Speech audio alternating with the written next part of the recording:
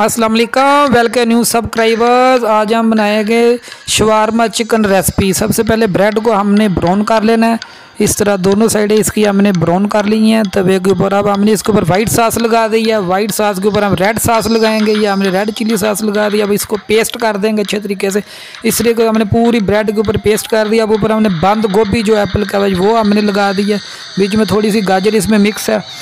तो अब इसके ऊपर हमने एक स्लाइस जो हमने खीरे का लगा दिया है।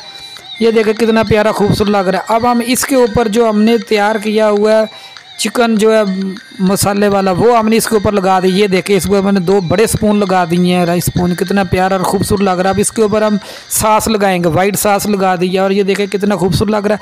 अगर वीडियो अच्छी रेसिपी अच्छी लगी तो चैनल को ज़रूर सब्सक्राइब कर लें। Thanks for watching my video अल्लाह हाफिज़।